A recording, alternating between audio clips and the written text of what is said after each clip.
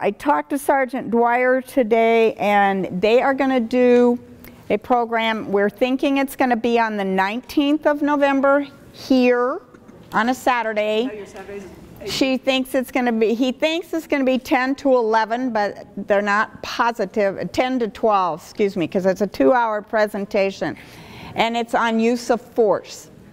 So it talks about how and when the police have to use force and how that decision is made, et cetera. So watch your email because I'll be sending that out when Sergeant Dwyer gives me the final okay.